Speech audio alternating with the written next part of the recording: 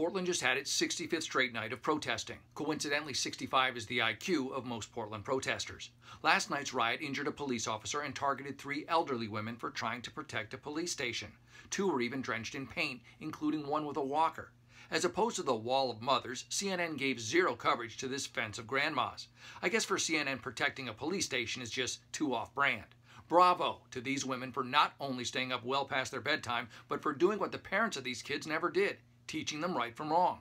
They even have a cool slogan I like applesauce and kicking ass, and I'm all out of applesauce. Last night's riot was courtesy of the Committee to Re elect Donald Trump.